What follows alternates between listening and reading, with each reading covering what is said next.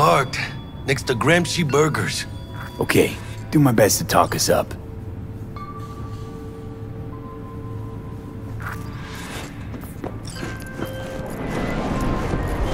V, listen.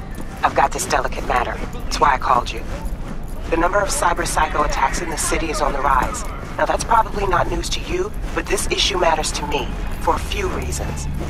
There are people who say cyber psychosis can be treated. Right.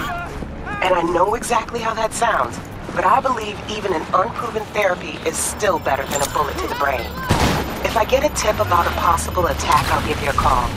Maybe you can investigate before Max Tapper hits the scene. But remember, you're not there to execute anybody. Try to incapacitate the attacker, and I'll send someone to pick him up. I hope that's all clear. Hmm.